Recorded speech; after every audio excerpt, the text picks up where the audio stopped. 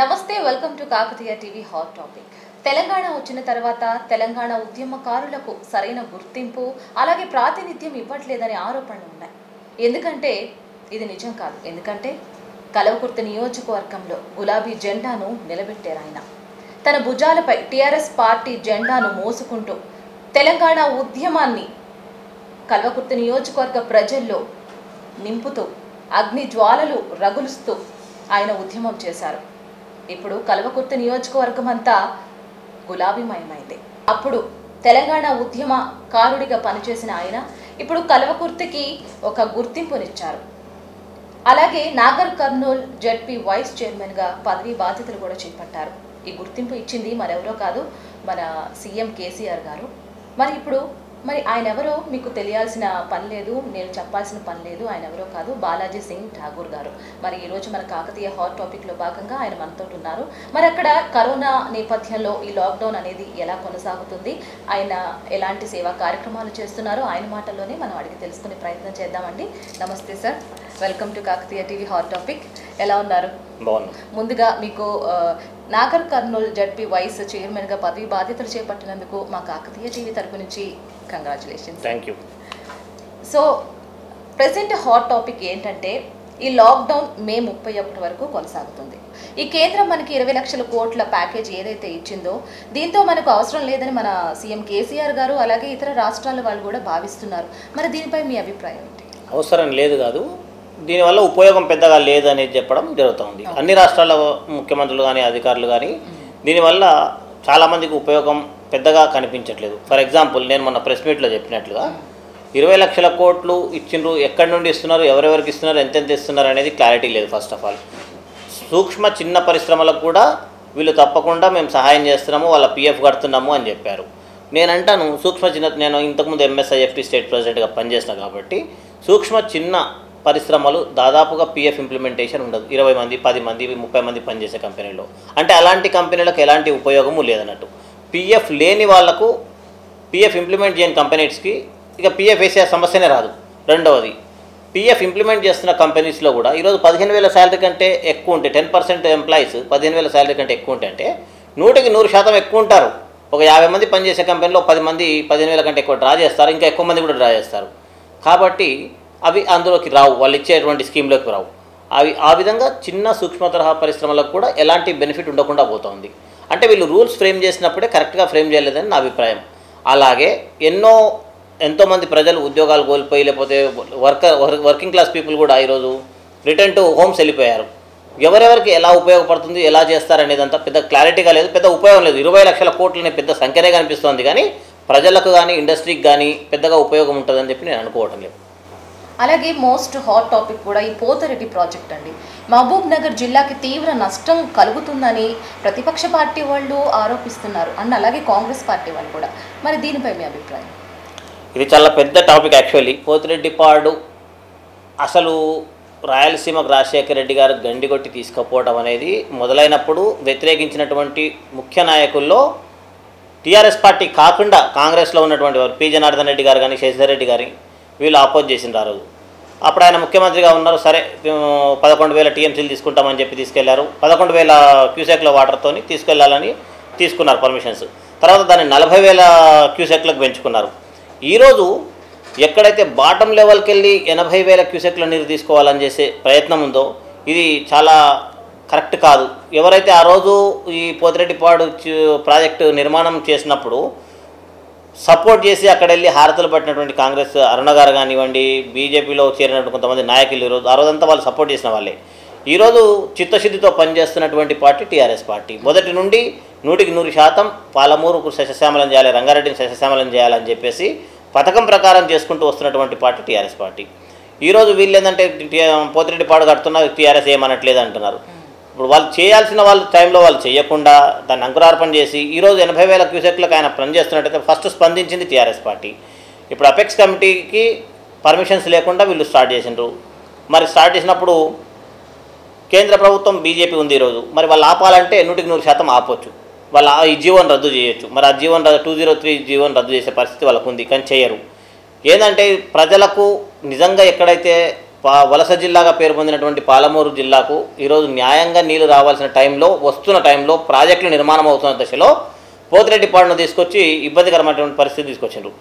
మా పార్టీ మా నాయకులు సంపూర్ణంగా ఈ పోతిరెడ్డిపాడు ప్రాజెక్టును ఎనభై వేల క్యూసెక్కులు తీసుకుపోయేటువంటి కుట్రను ఎనిమిది వందల ఐదు అడుగుల దగ్గర నుండి బాటం లెవెల్ నుండి లిఫ్ట్ ప్రారంభాన్ని పూర్తిగా వ్యతిరేకిస్తున్నారు. ఆల్రెడీ లెటర్స్ కూడా రాయడం జరిగింది. మేము కూడా నూటికి నూరు శాతం పాలమూరుకు ఎలాంటి అన్యాయం జరిగినా సహించము. వంద శాతం ఈ ప్రాజెక్టును వ్యతిరేకిస్తాము. మా పార్టీ ఏదైతే నిర్ణయాలు చేస్తుందో దానికి అనుకూలంగా మేమంతా అవసరమైతే ప్రజా ఉద్యమాన్ని నిర్మించైనా కూడా ఈ పోతిరెడ్డిపాడును నెక్స్ట్ లెవెల్కి తీసుకెళ్ళకుండా ఆప ఆపడానికి ప్రయత్నం చేస్తాం. రైట్ సార్ మరి రాజకీయం విషయానికి వస్తే ఈ తెలంగాణ ఉద్యమంలో మీరు పార్టిసిపేట్ చేయడానికి ఆ స్ఫూర్తినిచ్చింది ఎవరు? Who is your inspiration actually నేను సింగపూర్లో ఉండే అమ్మా. కెనడా మైగ్రేట్ అవుదామని సింగపూర్ పర్మనెంట్ రెసిడెంట్ నేను కెనడా మై పర్మనెంట్ రెసిడెన్సీ వచ్చిన తర్వాత నా ఫ్యామిలీ మొత్తానికి అక్కడ షిఫ్ట్ అవుదామని చెప్పేసి హైదరాబాద్కి వచ్చాం. పిల్లల్ని వదిలిపెట్టి వెళ్దామని. ఆ సందర్భంలో రాజశేఖర రెడ్డి గారు ప్లస్ ఎలక్షన్ అయిపోయింది ఆయన రెండోసారి ముఖ్యమంత్రి అయ్యారు. ఉద్యమం మంచిగా మా ప్లేస్లో లీడర్షిప్ లేకుండింది కల్లగుర్తిలో ఒకటి రెండు సార్లు నేను ఎక్కడ పార్టిసిపేట్ చేసినా మంచి స్పందన వచ్చింది. నాకు కొంత అవగాహన ఉంది. తెలంగాణ ఉద్యమం మీద కాబట్టి నేను మాట్లాడే మాటలు ప్రజలను ప్రభావితం చేసిన సందర్భంలో నిరంజన్ రెడ్డి గారు నన్ను కేసీఆర్ గారి దగ్గర తీసుకెళ్ళి కల్వకుర్తి కాన్ఫరెన్స్ ఇన్ఛార్జ్కి ఇప్పించడం నేను ఏదైతే మన జీవితంలో అవకాశం వచ్చిన దాన్ని మనం ఫుల్ఫిల్ చేయాలన్న ఉద్దేశంతో అటు కెనడాకు వెళ్ళకుండా నా గ్రీన్ కార్డును క్యాన్సిల్ చేసేసుకొని తర్వాత ఇటు సింగపూర్ గ్రీన్ కార్డు ప్లస్ నా ఇల్లు ఉండే నా ఫ్యాక్టరీ నాకు అక్కడ ట్రేడింగ్ కంపెనీ ఉండే అన్నీ వైండప్ చేసేసి హైదరాబాద్లో సెటిల్ అయ్యి. ఐదు సంవత్సరాలు కమిట్మెంట్గా పార్టీకి ఉద్యమానికి హార్నిశలు పనిచేసిన. దానికి గుర్తింపుగానే కేసీఆర్ గారు నన్ను చాలా ప్రేమతోని కేటీఆర్ గారు కానీ కవితక్క కానీ నేను కవితక్క వెంబడి ఎక్కువ ఉండేది. కేటీఆర్ గారు కానీ పూర్తిగా నాకు ఒక మంచి సంబంధం ఉంది మా మధ్యన వాళ్ళ ఫ్యామిలీతోని ఫస్ట్ టైం నాకు టికెట్ రాలేదు. అక్కడ కొంత ఇబ్బందికర వాతావరణం కార్యకర్తలందరూ నన్ను నిలబడాలని ప్రెజర్ చేయడంతో నిలబడడం జరిగింది. ఆ రోజు మాలో అనైక్యత కారణంగా కాంగ్రెస్ డెబ్బై రెండు ఓట్లతో గెలిచింది బీజేపీ మీద. టికెట్ వచ్చినటువంటి జయపాల్ యాదవ్ గారు ఓడిపోవడం జరిగింది. ఇన్నేళ్ళు కష్టపడి వేరే పార్టీని గెలిపించడానికి కాదన్నది ఒకటి మా లోపల బలంగా పాతుకుపోవడం వల్ల రెండవసారి నాకు టికెట్ రాకపోయినా పార్టీ పిలిచి మాట్లాడినప్పుడు టీఆర్ఎస్ పార్టీ ఖచ్చితంగా కలవకుర్తిలో గెలుస్తుందని చెప్పి చెప్పి క్యాండిడేట్ని గెలిపించడం జరిగింది. మేము జైపాల్ యాదవ్ గారికి నూటికి నూరు శాతం కమిట్మెంట్గా పనిచేశాం. కారణం జైపాల్ యాదవ్ అని కాదు మా పార్టీ గెలవాలి ఇక్కడ టీఆర్ఎస్ పార్టీ ఉండాలి కల్వకుర్తిలో అన్న ఉద్దేశంతో మేము ఆరు నిమిషాలు తొమ్మిది మూడు నెలలు నైంటీ నైంటీ ఫైవ్ డేస్ పనిచేసి ఆయన మూడు వేల ఐదు వందల ఓట్ల మెజార్టీతో గెలిపించడం జరిగింది. పార్టీ నాకు కేటీఆర్ గారు కూడా ఆ రోజు ఏం చెప్పారంటే నీకు టికెట్ ఇవ్వలేకపోతున్నాం భవిష్యత్తులో తప్పకుండా ఇస్తాం. మీరు పార్టీ క్యాండిడేట్ గెలిపించగలరని చెప్పారు. ఆయన చెప్పినట్లు నన్ను జిల్లా పరిషత్ చైర్మన్ చేద్దాం అనుకున్నారు. కానీ అక్కడ ఎస్సీ రిజర్వ్ అయింది జనరల్ కాబట్టి ఒక మహిళకు అవకాశం ఇస్తూ నన్ను వైస్ చైర్మన్ చేశారు. మేము ఇద్దరం కలిసి మంచిగా పనిచేస్తున్నాం. మాకేముంటుందంటే ఈ జనరేషన్ లీడర్స్కి ఎక్కడ అవకాశం ఉంటే అక్కడ పోవాలని ఉండదు. మా పార్టీ మేము జెండా మోసిన పార్టీ ఊరూరులో మేము జెండాలు బాతిన పార్టీ మా పార్టీలో ఉండి మేము గౌరవంగా బతకాలి అవకాశం వచ్చినా రాకపోయినా అనేది ఇక మేము డిసైడ్ చేసుకున్నాం కాబట్టి పార్టీ నాకు ఖచ్చితంగా అవకాశం ఇస్తుంది ఫ్యూచర్లో.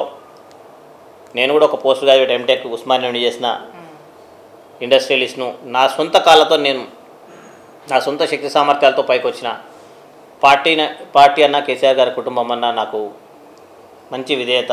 వాళ్ళ ఒక డిసిప్లిన్గా ఉంటాం. రోజు వెళ్ళి వాళ్ళ చుట్టూ తిరిగాయి వాళ్ళని ఇబ్బంది పెట్టి అది కావాలి ఇది కావాలని అడిగే వ్యవస్థ మాకు లేదు. మేము పోము కూడా అలాగా. వాళ్ళు ఏ పని చెప్పినా ఏ రాత్రి చెప్పినా చేయడానికి సిద్ధంగా ఉంటాం.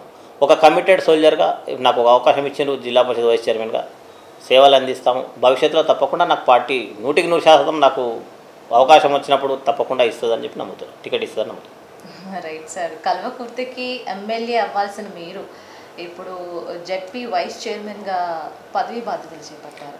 సో దీనిపై మీ అభిప్రాయం? అందరం అన్నీ కోరుకుంటాం. చిన్న చదువుకున్నప్పుడు కలెక్టర్ కావాలనుకుంటాం ఇంకోటి కావాలనుకుంటాం పెద్ద ఇండస్ట్రీ పెట్టాలనుకుంటాం. కొంతమందికి సాధ్యమవుతుంది కొంతమందికి కాదు. పాలిటిక్స్ కూడా ఒక ఆపర్చునిటీ ప్రజలకు సేవ చేయడానికి. కేసీఆర్ గారు మేము ఉద్యమంలో ఉన్నప్పుడు చాలా క్లోజ్గా ఉండే.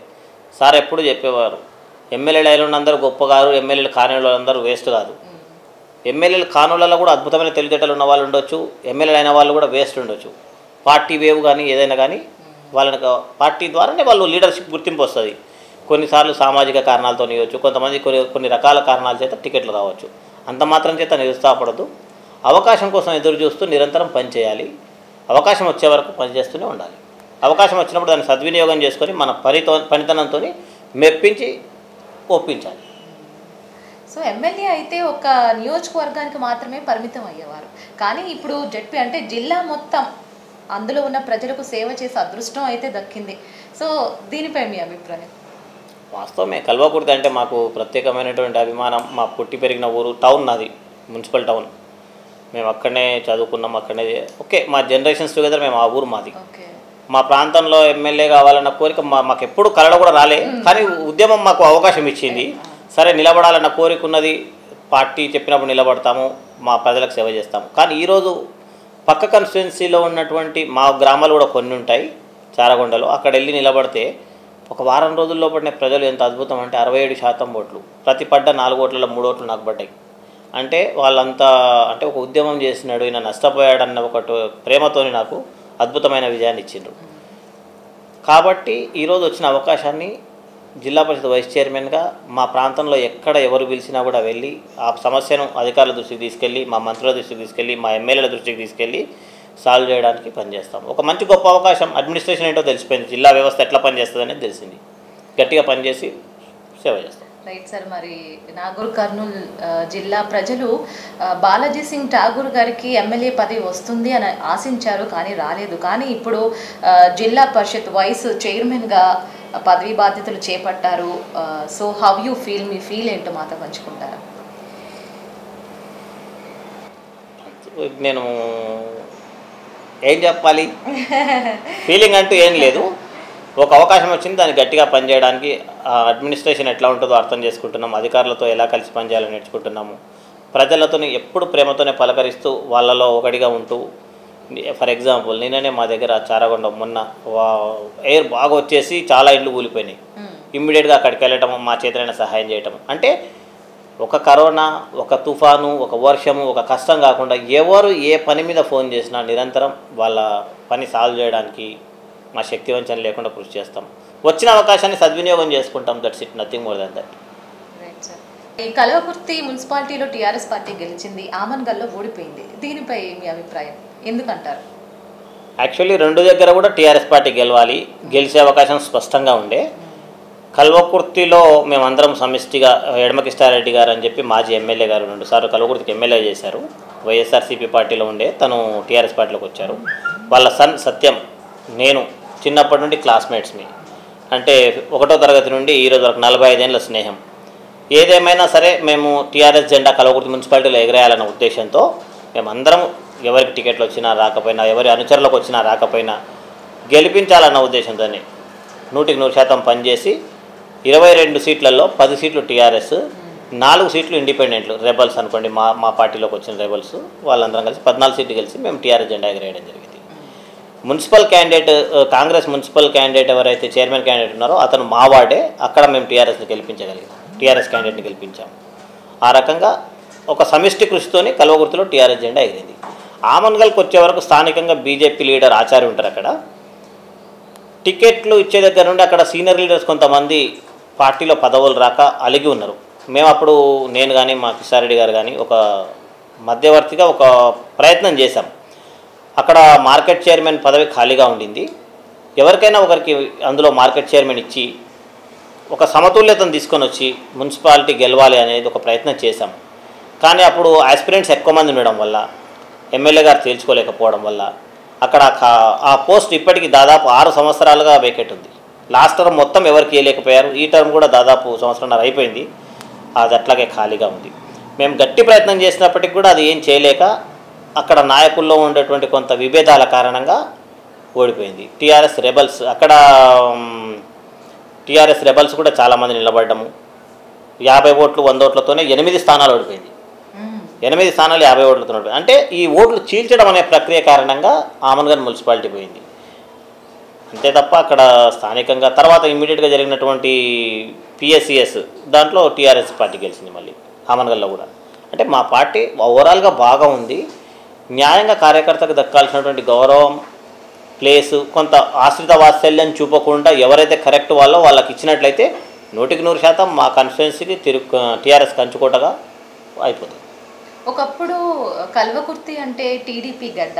ఇప్పుడు టీఆర్ఎస్కి అడ్డగా మారింది. దీనికి కారణం మీలాంటి ఉద్యమకారులే అని చెప్పుకోవచ్చా?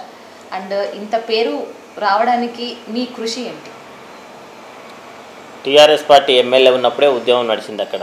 టీఆర్ఎస్ కాదు టీడీపీ పార్టీ ఎమ్మెల్యేగా జయపాల్ యాదవ్ గారు ఉన్నప్పుడే నేను టీఆర్ఎస్ ఇన్ఛార్జ్గా ఐదు సంవత్సరాలు. ఆయనకు వ్యతిరేకంగా టీడీపీ విధానాలతో వాళ్ళు వెళ్ళినప్పుడు మేము కేసీఆర్ గారి విధానాలతో ప్రజల్లోకి వెళ్ళాము తెలంగాణ సాధించడం ఎంత అవసరమో ప్రతి గ్రామంలో ప్రతి కుటుంబానికి ఎక్స్ప్లెయిన్ చేయగలిగినాం. టీడీపీకి కంచుకోట అయినప్పటికీ కూడా ప్రజలు తెలంగాణ కావాలని బలంగా కోరుకున్న నాయకులు రాకున్నా మాలాంటి కొత్త వాళ్ళు వచ్చినా ఆదరించినటువంటి ప్రాంతం కల్వకుర్తి. నూటికి నూరు శాతం మమ్మల్ని ప్రోత్సహించారు. తెలంగాణ రావాలని ప్రతి ఇంటికున్నా రాజకీయ కారణాల చేత రాలేని వాళ్ళు ఆ పార్టీలోనే ఉన్నప్పటికీ కూడా మొదటిసారి ఎనభై శాతం ఓట్లు టీఆర్ఎస్కి వచ్చేది.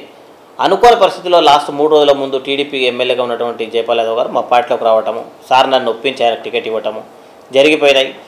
అదే కారణం చేత ఇన్ని రోజులు తెలంగాణకు పనిచేయలేదు ఈరోజు వచ్చాడు సడన్గా అన్న కారణం చేతనే ఆయన ఓడిపోవడం జరిగింది. టీడీపీకి కంచుకోట ఇప్పుడు ఎంత మాత్రం కాదు నూటికి నూరు శాతం టీఆర్ఎస్కు కంచుకోట కలవకూడదు ఈరోజు. వంద శాతం మేమందరం కలిసి గట్టిగా ఉంటే ఏ శక్తి కూడా మమ్మల్ని అక్కడ ఓడించే పరిస్థితి లేదు ఈరోజు. రైట్ సార్ మరి తెలంగాణ వచ్చిన తర్వాత కలవకుర్తి నియోజకవర్గంలో ఎటువంటి మార్పులు జరిగాయి? తెలంగాణ రాష్ట్రం వచ్చిన తర్వాత కల్వకుర్తి నియోజకవర్గంలో స్పష్టమైనటువంటి మార్పు కనిపిస్తుంది. ఒకటి KLI Kalwakurthy lift irrigation project ద్వారా కల్వకుర్తి మండలానికి నీళ్ళు వచ్చినాయి. మా పైన ఉండేటువంటి గ్రామాల్లో ఊరుకొండ మండలంలో గ్రామాలకు వచ్చినాయి.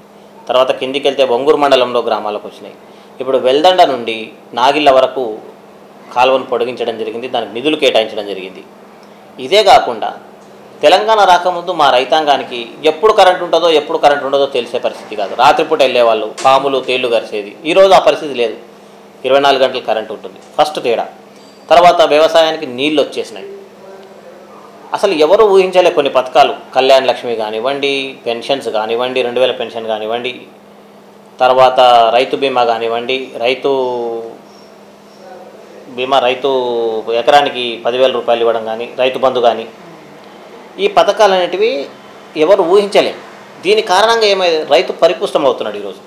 ఆయన పండించిన పంటను గవర్నమెంట్ కొంటుంది. ఆయనకు అన్ని రకాల సహకారం జరుగుతుంది. ఇదే కాకుండా నీళ్ళు వచ్చినాయి కరెంట్ ఉంది. వ్యవసాయదారుడు అనేవాడు ఈరోజు హండ్రెడ్ పర్సెంట్ సంతృప్తిగా ఉన్నాడు. అపార్ట్ ఫ్రమ్ వ్యవసాయదారుడు. మున్సిపల్ టౌన్కు నేను అప్పుడున్నటువంటి కాంగ్రెస్లో ఉన్నటువంటి మున్సిపల్ చైర్మన్ రాచోటి శ్రీశైలాన్ని మరికొంతమందిని తీసుకుని వచ్చి భవన్లో కేటీఆర్ గారి సమక్షంలో పాటలు జరిపించడం జరిగింది. ఆ తర్వాత కాలంలో అన్ని మున్సిపాలిటీలకు ఇచ్చినట్లు మా మున్సిపాలిటీ కూడా పదిహేను కోట్ల రూపాయలు ఇవ్వడం జరిగింది. వాటితో ఈరోజు రోడ్స్ వైడనింగ్ కానివ్వండి స్ట్రీట్ లైటింగ్ కానివ్వండి నగరంలో ఒక కొట్టొచ్చినట్టు మార్పు కనిపించే విధంగా జరుగుతూ ఉంది. తెలంగాణ రాకముందు మనం ఎంత అడుక్కున్నా ఒక రూపాయి వచ్చే పరిస్థితి లేదు వాటర్ వచ్చే పరిస్థితి లేదు. తెలంగాణ వచ్చిన తర్వాత మన సంపద మన గ్రామాల్లోకి వచ్చేటువంటి పరిస్థితి ఏర్పడ్డది. తెలంగాణ ఒక ఇన్కమ్ తెలంగాణ గ్రామాల్లో తెలంగాణ అభివృద్ధిలో ఈరోజు కీలకమైపోయింది. అంతకుముందు మన నిధులు మన రాష్ట్రంలో మన మన నుండి రాష్ట్రానికి వెళ్ళేటువంటి నిధులు మన ప్రాంతానికి తిరిగి వచ్చేది కాదు. టెన్ పర్సెంట్ ట్వంటీ పర్సెంట్ వస్తే మహా ఎక్కువ. కానీ ఈరోజు అలా కాదు. నూటికి నూరు శాతం తెలంగాణ నిధులు తెలంగాణ పల్లె పల్లెసీమలకు వస్తున్నాయి తెలంగాణ ప్రాజెక్టులకు వస్తున్నాయి తెలంగాణ అభివృద్ధిలో నూటికి నూరు శాతం ఉపయోగం రైట్ సార్ మరి కలవకుర్తి నియోజకవర్గం ఇన్ఛార్జిగా ఉన్న మీరు. ఈ కలవకుర్తి అంటేనే గ్రూప్ రాయ రాజకీయాలకి ఒక అడ్డా ప్లేస్ అనేది తెలుసు మనకి. మన జైపాల్ యాదవ్ గారు కానివ్వండి కృష్ణారెడ్డి గారు కానివ్వండి గోలి శ్రీనివాస్ రెడ్డి గారు కానివ్వండి ఇంతమందిని వదిలేసి ఎమ్మెల్యే టికెట్ అనేది మీ వరకు వస్తుంది అని మీరు ఎలా భావిస్తారు? కల్వకుర్తిలో గ్రూప్ రాజకీయాలు ఎన్ని ఉన్నప్పటికీ ఎవరి ఇష్టం వాళ్ళకు ఉన్నప్పటికీ పార్టీ నిర్ణయమే ఫైనల్. ఇది మేము ప్రూవ్ చేసాం మా దగ్గర నాయకులకు కొదవలేదు. చాలా చైతన్యవంతమైనటువంటి ప్లేస్ మాది. ఈరోజు కల్వకుర్తిలో జైపాల్ యాదవ్ గారు ఎమ్మెల్యే కసిరెడ్డి నారాయణ రెడ్డి గారు ఎమ్మెల్సీ మరో మాజీ ఎమ్మెల్యే కిష్టారెడ్డి గారు మరో మాజీ మంత్రి చిత్తరంజన్ దాస్ గారు గోలి శ్రీనివాసరెడ్డి గారు ఇంకా ఇంతమంది లీడర్స్ ఉన్నప్పటికీ మీరు అన్నట్టు తెలంగాణ తర్వాత ఒకరొకరుగా అందరూ పార్టీలకు వచ్చేశారు. పార్టీ విస్తృతమైపోయింది. ప్రతి ఒక్కరూ పార్టీ నియమావళికి కట్టుబడి పార్టీ ఇచ్చిన ఆదేశాలను శిరసావహించి పనిచేయాల్సిన అవకాశం ఉంటుంది అవసరం ఉంటుంది. రెండవసారి ఎమ్మెల్యేగా టికెట్ జయపాల్ యాదవ్ గారికి ఇచ్చినప్పుడు మేమే నిలబడ్డట్టు తొంభై తొంభై ఐదు రోజులు పూర్తి కమిట్మెంట్తో పనిచేస్తాం ఎందుకంటే జయపాల్ యాదవ్ క్యాండిడేట్ అయినప్పటికీ మాకు పార్టీ ఒక ఆదేశం ఇచ్చింది. మీరు గెలిపించుకురావాలి ఈసారి అనేది. మేమందరం కలిసి పనిచేయడం జరిగింది. రేపు కూడా ఎంతమంది నాయకులు ఎవరైనా అడగవచ్చు ఎమ్మెల్యే కావాలని అందరికీ ఉంటుంది వాళ్ళు నిలబడ్డారు. ఈరోజు చాలామంది కొత్త జడ్పీటీసీలు అయ్యారు రకరకాల పోస్టులో ఉన్నారు. పార్టీ ఎవరికి టికెట్ ఇచ్చినా అందరం కూడా కలిసికట్టుగా ఒకతాటి మీదకి వచ్చి గెలిపించుకుంటాం. అందులో డౌట్ లేదు. ఇకపోతే నారాయణ రెడ్డి గారు ఎమ్మెల్సీగా ఉన్నారు జయపాల్ యాదవ్ గారు ఎమ్మెల్యేగా ఉన్నారు. మిగతా వాళ్ళు ఈరోజు రాజకీయంగా కోరుకున్నప్పటికీ కూడా నాకు ఒక బీసీ సామాజిక వర్గం నుండి వచ్చిన వ్యక్తిగా ఐదు సంవత్సరాలు పార్టీ కష్టకాలంలో ఉన్నప్పుడు చే- ఉద్యమం చేస్తున్నప్పుడు ఫ్యామిలీని పక్కన పెట్టి బిజినెస్ని పక్కన పెట్టి రెండు దేశాల గ్రీన్ కార్డు వదులుకొని నూటికి నూరు శాతం కమిట్మెంట్తో కేసీఆర్ గారు వెంట ఆయన ఏది చెప్తే అది చేయడానికి ముందున్నటువంటి వ్యక్తిని. మొదటిసారి అవకాశం రాలే పార్టీ శ్రేయస్సు దృష్ట్యా టీడీపీ ఇక్కడ ఈ రాష్ట్రంలో ఉండకూడదన్న ఒక ఉద్దేశంతో మనం పార్టీ కేసీఆర్ గారు జయపాల్ యాదవ్ గారికి మూడు రోజుల ముందు వచ్చిన టికెట్ ఇవ్వడం జరిగింది. ఆ రోజున్న పరిస్థితుల్లో ఆ విధంగా జరిగిపోయింది. రెండోసారి మళ్ళీ అతనికి టికెట్ ఇచ్చినప్పుడు కూడా మాకు చెప్పడం జరిగింది. మీరు కూడా పార్టీ విధానాలకు కట్టుబడి పనిచేయాలి. మీకు కూడా మంచి అవకాశాలు వస్తాయని చెప్పి. ఆ రోజు చెప్పిన మాట ప్రకారం మళ్ళీ మేమందరం కూడా కలిసికట్టుగా జయపాల్ యాదవ్ గారిని గెలిపించడం జరిగింది. రేపు కూడా మేము టికెట్ అడుగుతాం. అందులో డౌట్ లేదు. పార్టీ నిర్ణయం చేస్తుంది. ఏం చేయాలని?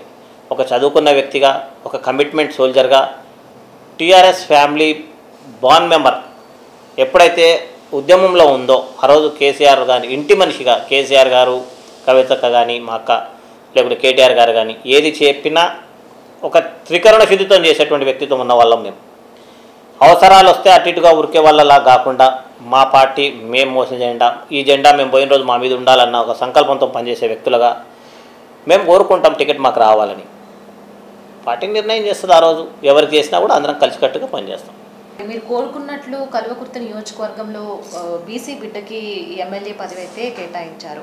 మరి మీకు రాలేనందుకు మీకు బాధగా ఉందా?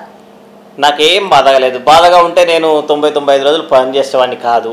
రెండవది గెలిపించుకొచ్చాం. కేటీఆర్ గారు చెప్పారు మీరు గెలిపించుకురండి బాలాజీ నీ ఫ్యూచర్కు నేను రెస్పాన్సిబిలిటీ అని చెప్పారు. మేము గెలిపించుకొచ్చి సార్కి చెప్పి కలిసాం. ఈ వాజ్ వెరీ హ్యాపీ ఆ నవ్వు నాకు ఇంకా గుర్తుంది ఆ సంతోషం నాకు ఇంకా గుర్తుంది. ఒక్క ఓటుతో గెలిపించుకురండి రండి అన్నారు. మేము. దాదాపు నాలుగు వేల ఓట్లతో గెలిపించుకొని వచ్చాం. గెలిపించుకొచ్చిన తర్వాత సార్ కూడా మేము రోజు ఆయన కనిపించినా కనిపించకపోయినా కల్వకుర్తిలో బాలాజీ అతను ఒక అతను ఉన్నాడు. ఆయన మన పార్టీ సిన్సియర్ వర్కర్.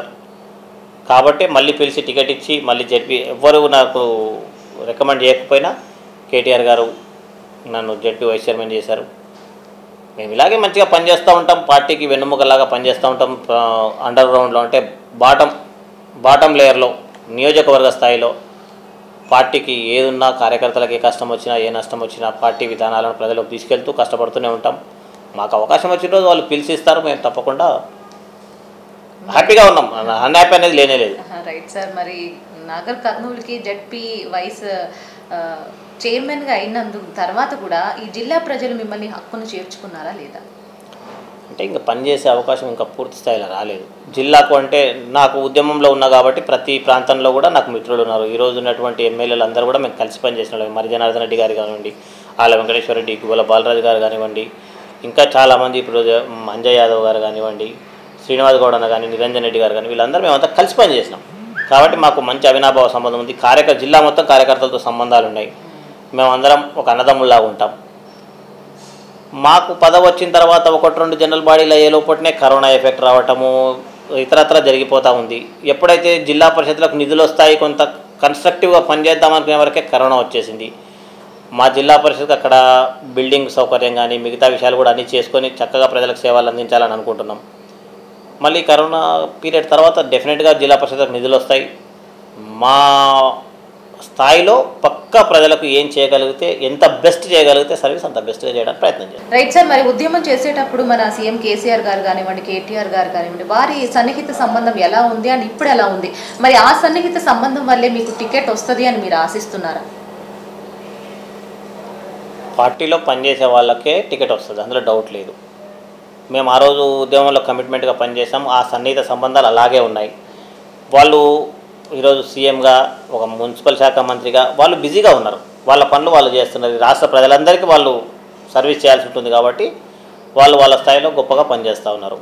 మాకు ఒక అవకాశం వచ్చింది. మా ప్రాంతంలో పనిచేసే అవకాశం. మేము అక్కడ మంచిగా పనిచేయడానికి ప్రయత్నం చేస్తాం.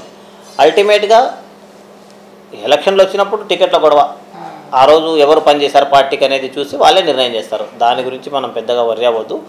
మనకున్న అవకాశాన్ని వచ్చిన అవకాశాన్ని సద్వినియోగం చేసుకొని ఎంత మంచిగా పనిచేస్తాం ఎంత కమిట్మెంట్తో పనిచేస్తాం ఎంత లాయల్గా ఉంటాం అనేది ఇంపార్టెంట్ రైట్ సార్ మరి రాజకీయంగా అలాగే ఉద్యమ పరంగా మీకు సంతృప్తినిచ్చిన విషయాలు ఏంటి అలాగే బాధ కలిగించిన విషయాలు ఏంటి చాలా మంచి ప్రశ్న. పదకొండు సంవత్సరాలు అయిపోయింది పన్నెండవ సంవత్సరం నడుస్తుంది ఇండియాకి వచ్చి నేను. ఉద్యమంలో ఉన్నప్పుడు ఆ టెంపో అది డిఫరెంట్గా ఉండేది. దేనిని లెక్క చేయకుండా ఈరోజు ఏముంది అది ఖర్చు చేయడానికి ఒక సెకండ్ కూడా ఆలోచన చేయలేని పరిస్థితి. కానీ తెలంగాణ వచ్చిన తర్వాత కొన్ని అనుకోని కారణాల చేత ఒకసారి నిలబడటము రెండవసారి వచ్చే వరకు మళ్ళీ పార్టీని గెలిపించడము అంటే ఒక పన్నెండు సంవత్సరాలు కార్యకర్తలతో అనుబంధం ఉండడం వల్ల వాళ్ళ సాధక బాధకాలు వాళ్ళ కష్టాలు అన్నీ తెలిసిన వాడిగా డబ్బు లేనిది మనం ఏం చేయలేం. డబ్బు నిరంతరం సంపాదిస్తూనే ఉండాలి దాన్ని ప్రజల మధ్యలో ఖర్చు పెట్టుకునేటువంటి గొప్పతనం కూడా ఉండాలి. సం అందరి దగ్గర డబ్బు ఉంటుంది ఖర్చు పెట్టడానికి ఒక ఒక క్షణం. ఎవరు అంత ఫాస్ట్గా మూవ్ అవ్వరు.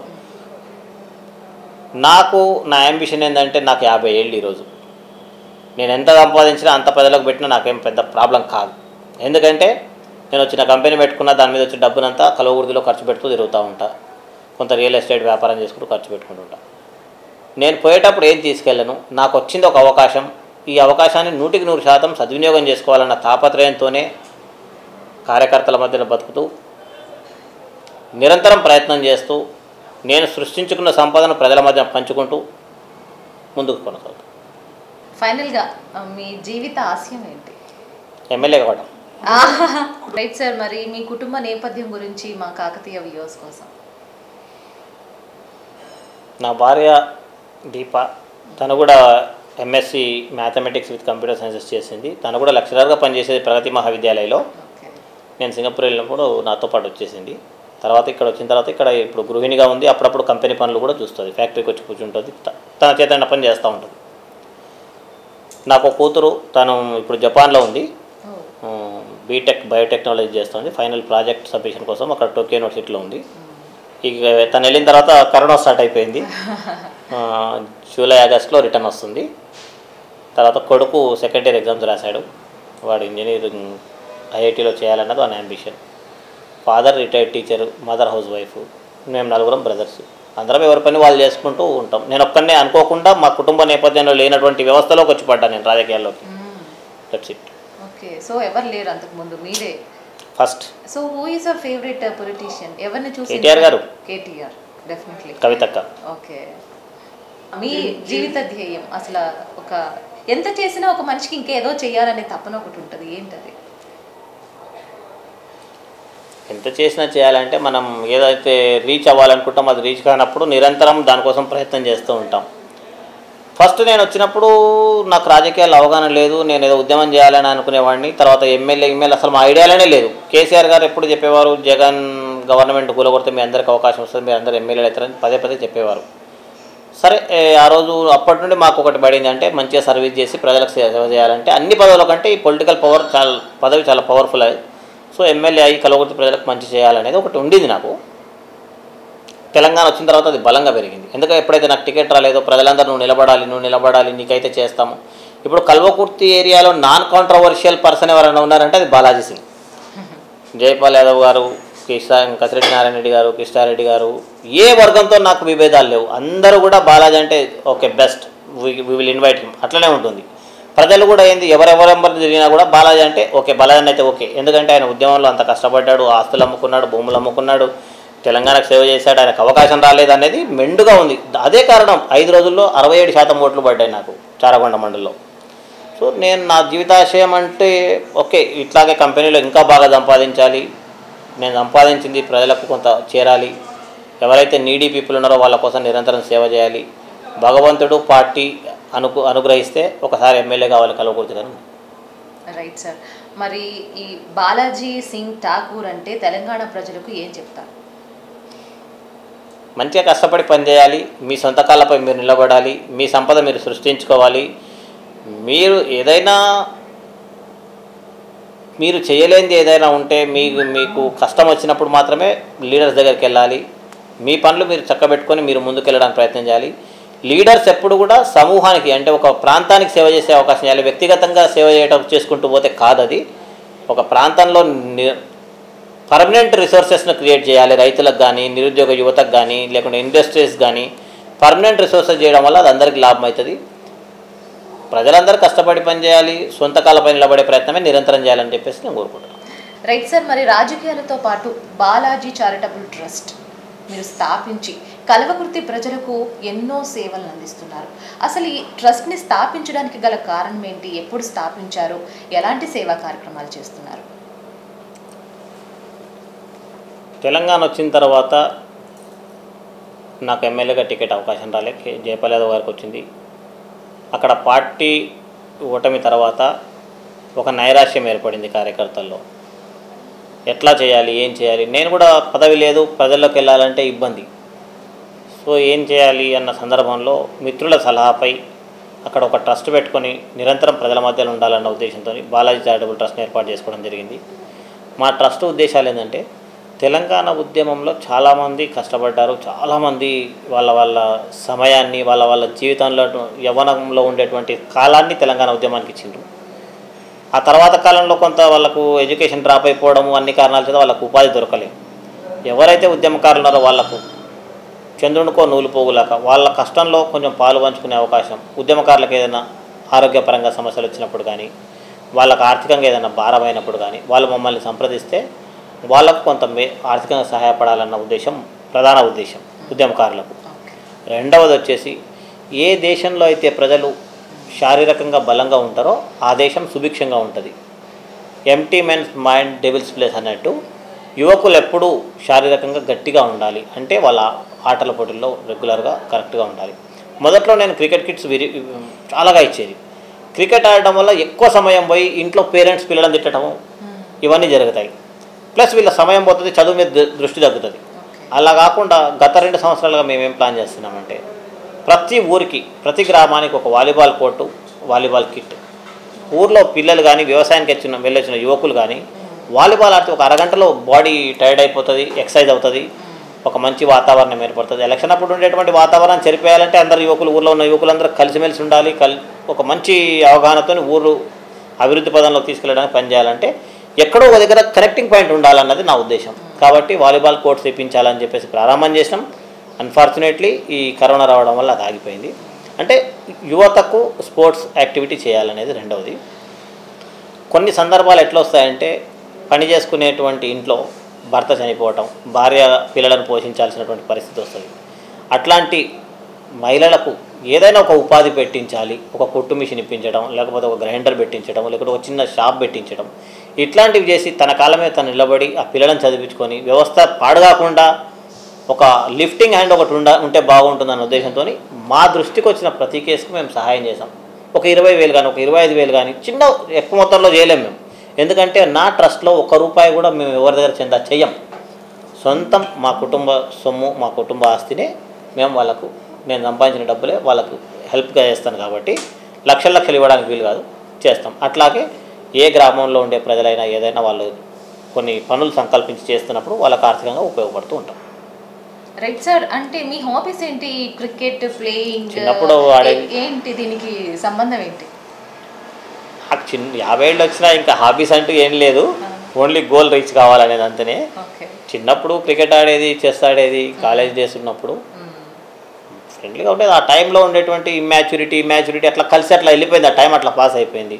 నవ్వు మేము కూడా ఒక ఫిఫ్టీ ఇయర్స్కి వచ్చాము. రీచింగ్ ఓల్డ్ ఏజ్ అంటే ఎవరైనా నమ్ముతారా సార్ ఫిఫ్టీ ఇయర్స్ ఉన్నాయి ఇప్పుడు ఫిఫ్టీ రన్నింగ్ నాకు. ఓకే. సో ఇన్ని చేస్తున్నారు ఒక పక్కన ట్రస్ట్ ఒక పక్కన పాలిటిక్స్ ఒక పక్కన బిజినెస్ ఇవన్నీ మీకు ఎలా జరుగుతున్నాయి? ఒక క్రమబద్ధ ఏమంటారు దాన్ని? ఆ, ఏదో ఏదో అంటారు దాని కావట్లేదు మీకు ఎలా సాధ్యం అవుతుంది ఇవన్నీ హ్యాండిల్ చేయడం?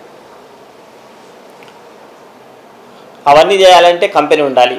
కంపెనీ ఉండాలి మంచి నడుస్తేనే డబ్బులు వస్తాయి. డబ్బులు వస్తేనే ఏదైనా ప్రజలకు చేయగలము మేము బాగుండగలం. యాక్చువల్లీ ఈ రాజకీయాల్లో ఉండడం వల్ల ప్రజలు నిరంతరం తిరగడం వల్ల తెలంగాణ ఉద్యమం వల్ల ఎక్కడికో చేరుకోవాల్సినటువంటి నా కంపెనీ ఈరోజు కూడా ఒక ముప్పై మంది నలభై మందికి మాత్రమే ఎంప్లాయ్మెంట్ ఇచ్చి ఒక నాలుగైదు కోట్ల టర్న్ ఓవర్లోనే ఉన్నాం. యాక్చువల్లీ నేను ఫుల్ టైం దీన్ని కేటాయించుంటే ఈరోజు వంద కోట్ల కంపెనీగా ఉండేది. Aerospace is a big business అందులో నేను ఎక్స్పర్ట్ను క్యాడ్ క్యామ్ ఇంజనీర్ను కాకపోతే ఫుల్ టైం బిజినెస్కి ఇవ్వలేకపోవడం వల్ల కొంత భారీ నష్టం జరిగింది నాకు. బిజినెస్ పరంగా ముందుకు పోలేకపోయాను. బట్ నవ్వు ఇప్పుడు టాటా ఏరోస్పేస్ సిటీలో మా సెకండ్ యూనిట్ వస్తుంది. ఒక ఇరవై ఇరవై ఐదు మిషన్లతో పెద్దగా పెడతా ఉన్నాం. ఇవన్నీ హ్యాండిల్ చేయాలంటే కోఆర్డినేట్ చేసుకోవటమే. బిజినెస్ చేస్తేనే డబ్బులు వస్తాయి. డబ్బులు వస్తేనే అక్కడ ఏదైనా చేయగలం.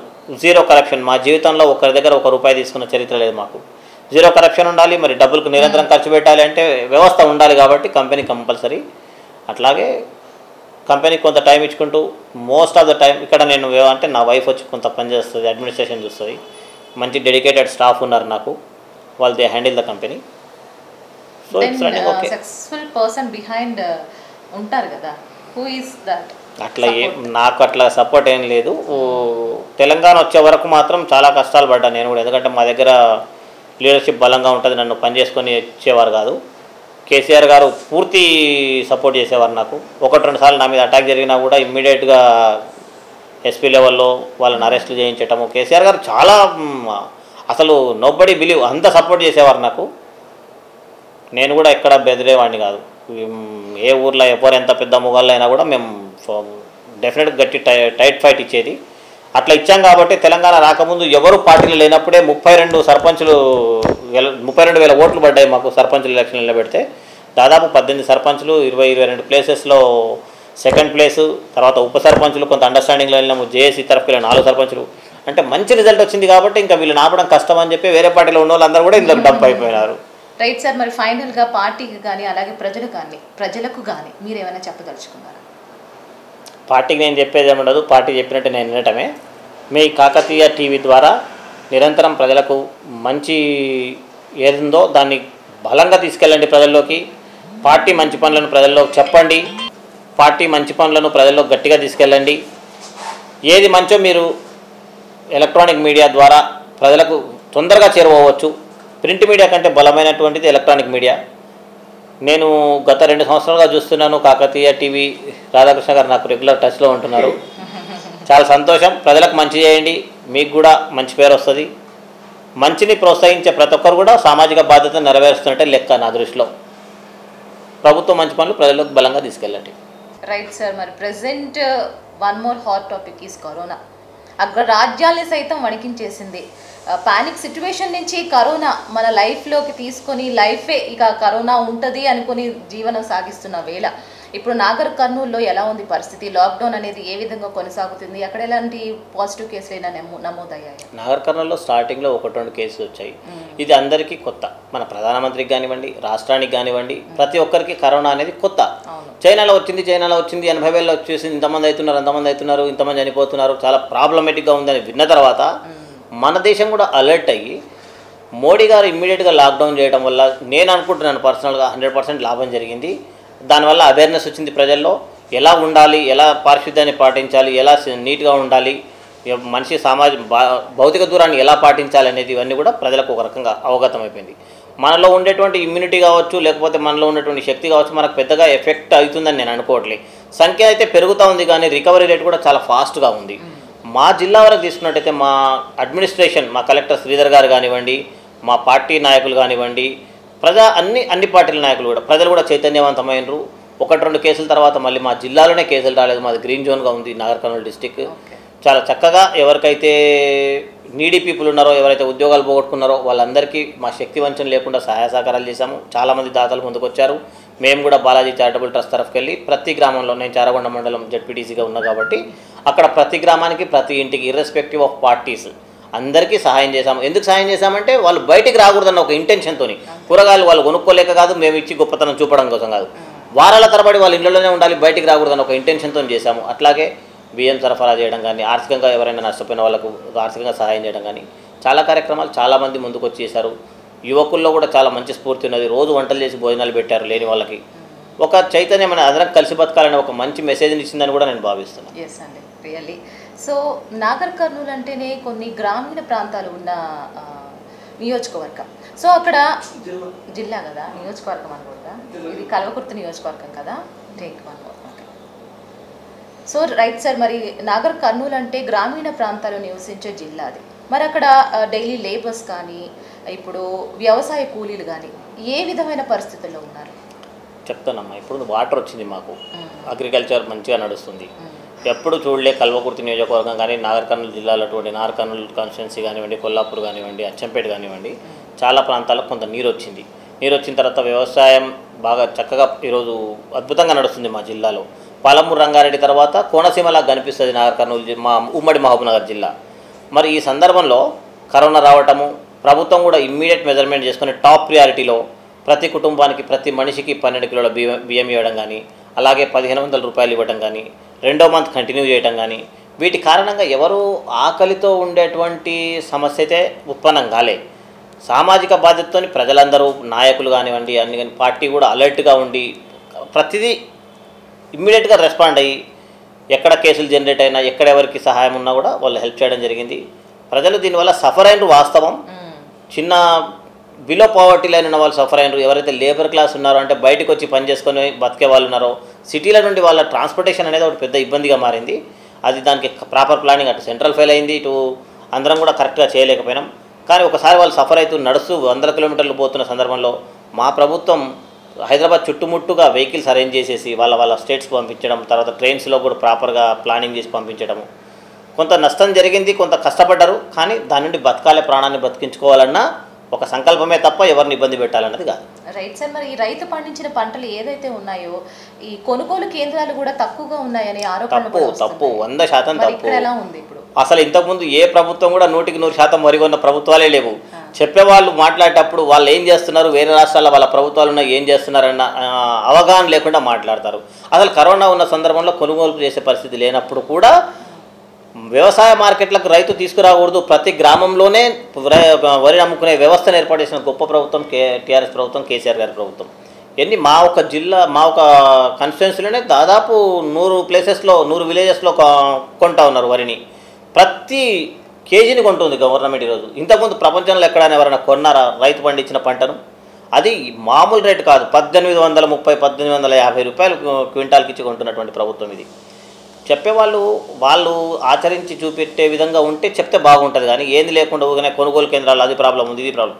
ఏది లేదు చాలా చక్కటి వ్యవస్థను ఏర్పాటు చేసి దాదాపు ముప్పై నలభై వేల కోట్ల రూపాయలతో ఈరోజు ధాన్యం కొంటున్నారు నాట్ ఓన్లీ ధాన్యం పత్తి కొన్నారు ప్యాడీ కొన్నారు కందులు కొన్నారు పల్లి కొన్నారు. ఇలా చెప్పుకుంటూ పోతే అసలు ఏ ప్రభుత్వాలైనా ఇంతకుముందు రైతుకు ఈ విధంగా చేశాయా? ప- రైతుకు వాటర్ ఇచ్చింది రైతుకి ఇరవై నాలుగు గంటల కరెంట్ ఇచ్చింది రైతు ఇరవై నాలుగు గంటల కరెంట్ ఇవ్వలేదు అడుగుతలేడు కదా అంటారు. మీరు ఎప్పుడైనా వాడుకోండి ఇచ్చాం కదా. మేమేం బిల్లులు అడగట్లేదు కదా. అలాగే రైతు బీమా ఎకరాకు పదివేల రూపాయలు ఏ ప్రభుత్వం అండి రైతుకు చేసింది? ఒక కేసీఆర్ గారి ప్రభుత్వం చాలా చిత్తశుద్ధితో రైతును అప్లిఫ్ట్ చేయాలన్న ఉద్దేశంతో అందరినీ అబౌ పావర్టీ లైన్కి తీసుకురావాలన్న ఒక గొప్ప సంకల్పంతో ఇరవై నాలుగు గంటలు పనిచేస్తూ మంచి పథకాలను తీసుకొచ్చి రైతును అప్లిఫ్ట్ చేస్తున్నటువంటి ప్రభుత్వం టీఆర్ఎస్. రైట్ సార్ మరి కరోనా ఉన్న నేపథ్యంలో కూడా ఎక్కడ ప్రజలు ఏ విధమైన అసౌకర్యానికి ఫీల్ అయినా వెంటనే స్పందిస్తుంది సార్ ఈ ప్రభుత్వం. నిజంగా మా కాకతీయ టీవీ తరఫున వన్స్ అగైన్ మీ లీడర్స్కి థ్యాంక్స్ చెప్తాను సార్. అండ్ అలాగే ఇప్పుడు మీరు ఈ సందర్భంలో కరోనా ఉన్న నేపథ్యంలో ప్రజల వద్దకు వెళుతూ ఉంటారు. ఈ టైంలో ప్రజలు ఎటువంటి సమస్యతో మీ ముందుకు వస్తున్నారు? అలాగే ప్రభుత్వం తీసుకునే నివారణ చర్యలు ఎలా ఉన్నాయి? ఇప్పుడు టాప్ ప్రయారిటీ కరోనా. వాళ్ళు అడిగేవి ఏమైనా ఉన్నా సహాయాలు అడుగుతారు. లేకుంటే వేరే పనులన్నీ పక్కన పెట్టింది ఈరోజు గవర్నమెంట్ కానీ ప్రజలు కానీ వాళ్ళ వాళ్ళ డైలీ రొటీన్ వర్క్స్ పక్కన పెట్టారు. ఈరోజు ఏంటి? జాగ్రత్తగా ఉండాలి ప్రాణాన్ని కాపాడుకోవాలి. ఒకరికొకరు కరోనాను వ్యాప్తి చెందకుండా మనం భౌతిక దూరాన్ని పాటి పాటించాలి. వాళ్ళు అవి చేస్తున్నారు.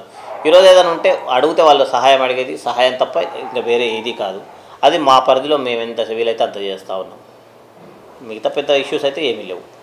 Okay sir right. మరి నాగర్ కర్నూల్ జడ్పీ వైస్ చైర్మన్గా ఉన్న మీరు పర్సనల్గా ప్రజలకు ఎటువంటి సేవా కార్యక్రమాలు చేస్తున్నారు? పార్టీలో తెలంగాణ ఉద్యమం కోసం పనిచేయటము ఒక ఒక రకమైనటువంటి ఒక ఐదు సంవత్సరాలు ఇన్ఛార్జ్గా నేను పార్టీ పిలుపుకు స్పందించి ఏ ఏ ఏ టాస్క్ అయితే నాకు ఇచ్చిందో ఆ టాస్క్ను హండ్రెడ్ పర్సెంట్ ఫుల్ఫిల్ చేస్తూ వచ్చాం. ఈరోజు నాకు రెండవసారి కూడా అవకాశం రానప్పుడు మా ప్రియతమ నేత కేటీఆర్ గారు పిలిచి నిన్ను నేను జడ్పీ వైస్ చైర్మన్ చేస్తాను. ఏ నియోజకవర్గంలో నిలబడతాం మా దగ్గర కూడా కలవకూడదు ఎస్సీ రిజర్వ్ అయింది. నాగర్ కర్నూలు కూడా ఎస్సీ జనరల్ చైర్మన్ అయింది. ఇంకా నేను ఏం చేయాలన్న ఉద్దేశంతో ఉన్నప్పుడు కేటీఆర్ గారు తను నాకు ఇచ్చిన మాట ప్రకారం తనే పిలిచి చారగొండ జనరల్ సీట్ అయింది. మీరు అక్కడ నిలబడండి గెలుస్తారని చెప్పి నాకు అక్కడ బీఫామ్ ఇప్పించి గెలిచిన తర్వాత అరవై ఏడు శాతం ఓట్లతో నన్ను గెలిపించారు. ఓన్లీ ఫైవ్ డేస్లో. చారకొండ ప్రజలకు కూడా ధన్యవాదాలు తెలియజేస్తున్నాయి ఈ సందర్భంగా. తర్వాత కేటీఆర్ కూడా కేటీఆర్ గారు కూడా నన్ను జిల్లా పరిషత్ వైస్ చైర్మన్గా చేశారు. వారు నాకు ఇచ్చిన మాటకు దాన్ని ఫుల్ఫిల్ చేశారు.